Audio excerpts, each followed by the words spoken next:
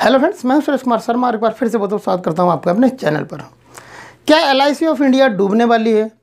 क्या LIC of India जो company है, उसको सत्तावन हज़ार करोड़ रुपए का नुकसान हुआ है? यही सवाल आजकल जो पॉलिसी धारक हैं, उनके मन में चल रहे हैं। हमसे भी पिछले कुछ दिनों में हमारे जो जानकार है, जिन्होंने एलआईसी की पॉलिसी की हुई है या फिर त्योहारों के सीज़न में एलआईसी की पॉलिसी लेने के बारे में सोच रहे थे, वो हमसे लगातार ये सवाल कर रहे हैं कि हमें बताइए कि क्या एलआईसी कंपनी को सत्तावन हज़ार करोड़ रुपये का नुकसान हुआ है? क्योंकि सत्तावन हज़ार करोड़ रुपये एक आम आदमी के लिए बहुत बड़ी रकम है। तो क्या LIC कंपनी को जो सत्तावन हज़ार करोड़ रुपए का अगर कोई नुकसान हुआ है तो वो सत्तावन हज़ार करोड़ रुपए हमारी जो LIC की पॉलिसीज़ हैं, उनकी मैच्योरिटी में से काट लिया जाएगा। क्या हमारी जो पॉलिसीज़ का बोनस है, उसमें से काट लिया जाएगा? क्या हमें अपनी पॉलिसी को बंद कर देना चाहिए सरेंडर कर देना चाहिए और अपना पैसा वापस ले लेना चाहिए? या फिर जो नई पॉलिसी लेने के बारे में सोच रहे हैं, वो बेचारे घबराए हुए हैं कि क्या हमें एलआईसी ऑफ़ इंडिया की कंपनी के अंदर पॉलिसी करनी चाहिए? तो हम आपको डिटेल के साथ इस वीडियो के अंदर बताने वाले हैं और आपको साथ में ये भी बताने वाले हैं कि एल ऑफ़ इंडिया ने क्या इसके बारे में रिप्लाई दिया है, क्या इसका जवाब दिया है, वो भी डिटेल में आपको यहाँ पर बताने वाले हैं। और ये सारा का सारा जो वायरल मैसेज हैं, जो व्हाट्सअप और फेसबुक पर आजकल लगातार फैलाए जा रहे हैं, इस सब की क्या सच्चाई है, पूरा डिटेल के साथ आपको इस वीडियो के अंदर बताने वाले हैं। और साथ में आपको ये भी बताएँगे कि ये सारा का सारा कहाँ से शुरू हुआ और किस तरीके से शुरू हुआ। आखिर में इस वीडियो से रिलेटेड बहुत ज़्यादा ज़रूरी जानकारी आपको देने वाले हैं तो वीडियो को आखिर तक ज़रूर वॉच करिएगा। यदि वीडियो पसंद आता है तो वीडियो को लाइक और शेयर ज़रूर करिएगा अपने दोस्तों के साथ व्हाट्सअप और फेसबुक पर। तो फ्रेंड्स सबसे पहले आपको बता देते हैं कि जो एलआईसी कंपनी को सत्तावन हज़ार करोड़ रुपए के जो मैसेज वायरल हो रहे हैं लगातार व्हाट्सअप फेसबुक या फिर और सोशल मीडिया प्लेटफॉर्म पर यह खबर कहाँ से आई? कहाँ से ये आरोप शुरू हुआ? कांग्रेस पार्टी की ने, नेता जो प्रियंका गांधी वाड्रा है उन्होंने अपने ट्विटर हैंडल पर आज से 20-25 दिन पहले एक ट्वीट किया था। यहाँ पर आपको वो ट्वीट दिखाई भी दे रहा होगा। ये उन्होंने ट्वीट किया था और इसके अंदर उन्होंने बीजेपी से यानी भारतीय जनता पार्टी से सवाल किया था कि भारत में एलआईसी पॉलिसी भरोसे का दूसरा नाम है। आम लोग अपनी मेहनत की जो कमाई है, उसकी भविष्य की सुरक्षा के लिए एलआईसी में अपना पैसा लगाते हैं।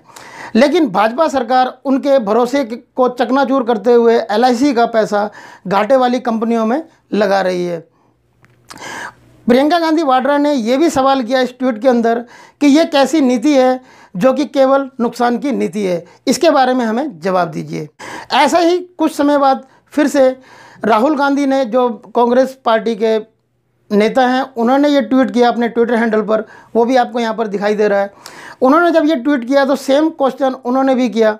राहुल गांधी जी के इस ट्वीट में लिखा है कि मोदी जी आपकी चहेती निजी कंपनी आईएलएफसी डूबने वाली है। आप एलआईसी का पैसा लगाकर उसे बचाना चाहते हैं। साथ ही इस ट्वीट के अंदर उन्होंने ये भी क्वेश्चन किया कि एलआईसी देश के भरोसे का एक चिन्ह है। एक एक रुपया जोड़कर लोग अपना एलआईसी की पॉलिसी खरीदते हैं, लेकिन आप उस पैसे से जालसाजों को बचाते हैं। कहीं आपके लिए आई का मतलब आई लव फाइनेंशियल स्कीम तो नहीं है। तो ऐसे ही सवाल उठाए गए थे 20 से 25 दिन पहले कांग्रेस पार्टी के इन नेताओं की तरफ़ से। जिसका किसी भी तरीके से कोई रिप्लाई एलआईसी ऑफ़ इंडिया ने नहीं दिया था।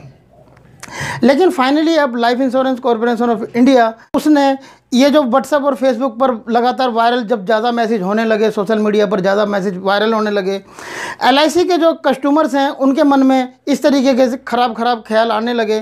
तब लाइफ इंश्योरेंस ऑफ़ इंडिया ने अपनी प्रेस रिलीज़ की। Life insurance corporation of India ने कहा कि एलआईसी की वित्तीय स्थिति को लेकर जो मन मन गणन संदेश फैलाए जा रहे हैं, जो खबरें फैलाई जा रही हैं, ये बिल्कुल भी सही नहीं है। इन दावों की कोई भी सच्चाई नहीं है।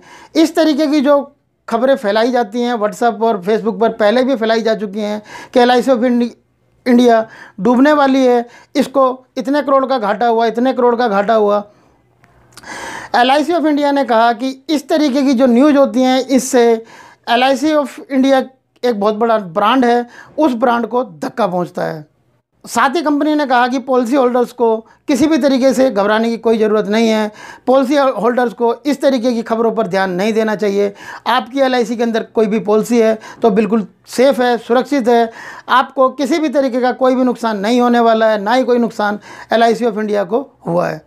यदि एल ऑफ़ इंडिया को किसी भी शेयर बाज़ार के गिरने से किसी भी तरीके का कोई नुकसान हुआ भी है तो एलआईसी ऑफ़ इंडिया इतनी बड़ी ब्रांड है, इतनी बड़ी कंपनी है, उसके पास इतना पैसा है कि छोटे मोटे जो उनके लिए सत्तावन हज़ार करोड़ रुपए का यदि नुकसान हो भी जाता उनको तो इतना वो हैंडल करने की क्षमता रखती है कंपनी तो आपके पास यदि कोई एलआईसी की कोई भी पॉलिसी है तो एलआईसी ऑफ़ इंडिया का ये कहना है कि आपको किसी भी तरीके से घबराने की कोई ज़रूरत नहीं है। आप एलआईसी में कोई पॉलिसी ख़रीदना चाहते हैं तो आप ख़रीद सकते हैं। एलआईसी में आपने कोई भी पॉलिसी ली हुई है तो आप निश्चिंत होकर उसका प्रीमियम भरते रहिए आपको पॉलिसी को सरेंडर करने की कोई भी ज़रूरत नहीं है। साथ ही एलआईसी ने ये भी कहा है कि एलआईसी ने वित्तीय वर्ष 2018-19 के लिए पचास हज़ार करोड़ रुपए के बोनस का ऐलान भी किया है। कंपनी का इकतीस अगस्त 2019 तक कुल बीमा कारोबार में जो हिस्सा है वो बहत्तर दशमलव चौरासी फ़ीसदी का है। वहीं पहले साल में प्रीमियम में तिहत्तर दशमलव छः फ़ीसदी हिस्सा है। कंपनी ने यह भी कहा कि 31 मार्च 2019 से 31 अगस्त 2019 तक जो LIC को सत्तावन हज़ार करोड़ रुपए के घाटे की बात कही गई है, उस समय में पहले साल के प्रीमियम का हिस्सा छियासठ दशमलव चौरा चौबीस फ़ीसदी से बढ़कर तिहत्तर दशमलव छः फ़ीसदी तक हो गया है। तो आपको किसी भी तरीके से घबराने की कोई ज़रूरत नहीं है। व्हाट्सअप फेसबुक या और सोशल मीडिया पर किसी भी तरीके की ऐसे वायरल मैसेज फैलते हैं। ऐसी झूठी अफवाहें फैलती हैं तो आपको उन पर ध्यान नहीं देना चाहिए। एलआईसी ऑफ़ इंडिया ने अपनी प्रेस रिलीज़ में ये सारा का सारा क्लियर कर दिया कि एलआईसी ऑफ़ इंडिया अपने आप में एक क्षमता रखती है, अपने आप में एक इतना बड़ा ब्रांड है।